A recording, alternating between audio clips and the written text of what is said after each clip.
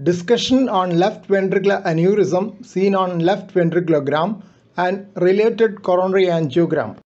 This still picture from a left ventriculogram shows a bulge in the anterolateral region of the left ventricle in systole, suggestive of an aneurysm. Pigtail catheter used for left ventriculography is seen. A true aneurysm is composed of all three layers of the heart, namely endocardium, myocardium, and pericardium. It has a wide neck and is very unlikely to rupture. Please subscribe to this channel for future updates. Click on the subscribe button. Press the bell icon after that for all updates. In contrast, a pseudoaneurysm is a ventricular rupture sealed off by the pericardium. It has a narrow neck and has a high risk of secondary rupture. A true aneurysm can cause arrhythmias due to the viable tissue in the border zone with varying refractory periods which initiate reentrant arrhythmias. Refractory heart failure may occur due to wasted systole, that is, a portion of the ventricular blood moves in and out of the aneurysm without being pumped out into the aorta. Huge left ventricular aneurysm with thrombus and calcification has been reported by De Agustin et al.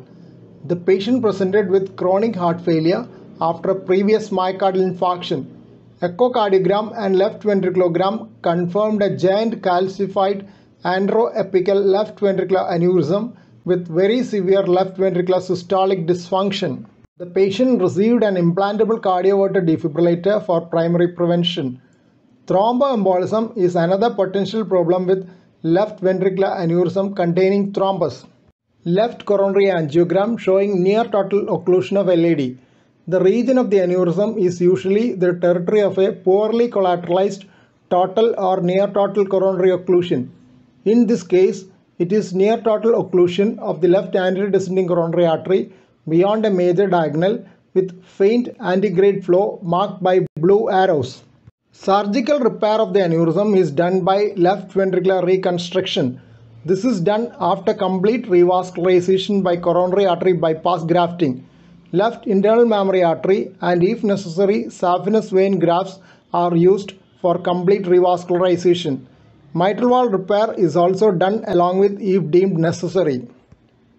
Surgical left ventricular reconstruction is an optional procedure to improve the left ventricular volume and shape and possibly long-term improvement in left ventricular function. The scar tissue is excluded in this open procedure. Though several studies have reported that surgical left ventricular reconstruction is safe and has favorable 5-year outcomes, the need is still being debated. Here are a couple of relevant journal references. Please don't forget to subscribe to this channel for future updates and click on the bell icon for all updates. Thank you.